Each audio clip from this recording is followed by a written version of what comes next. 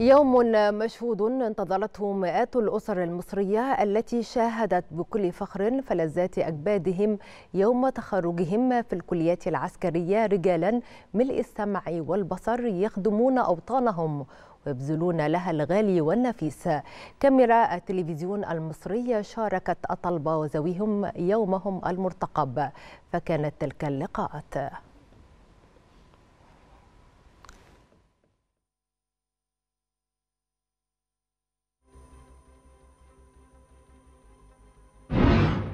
حنان فاروق محمد عطية. آه، والدة آه، ملازم أول طبيب آه، أحمد هشام خفاجة. الأول على كلية طب عسكري للدفعة الخامسة. طبعا سعيدة جدا شعور مش قادرة أوصفه بصراحة يعني.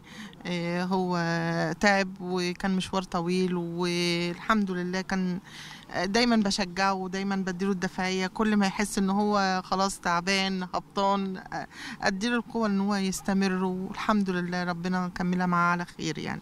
الحمد لله. هشام خفاجة والد آه، ملازم أول طبيب أحمد هشام.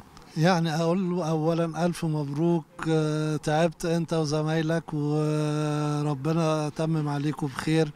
ويكفي طبعا الريس آه، موجود النهارده في الاحتفال بتاع تخرجه.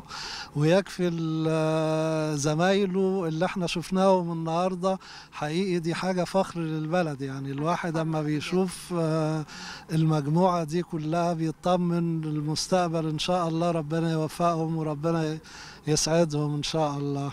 وبنشكر الريس طبعا على تشريفه هنا ودي حاجة جميلة جدا ودفعة ليهم إن شاء الله اللي هم يعملوا أكتر وأكتر.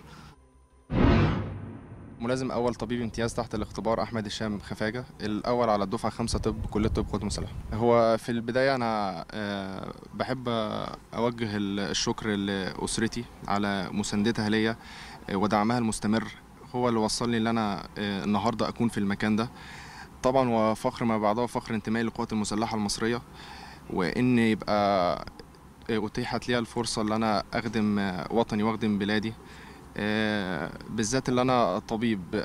فأنا أسعى إن أنا أخدم شعب مصر بالكامل آه، مدنيين وعسكريين وإن إحنا نقدم ال- الخدمة الطبية على أعلى مستوى آه، تليق بالمستوى اللي إحنا تأهلنا بيه داخل القوات المسلحة.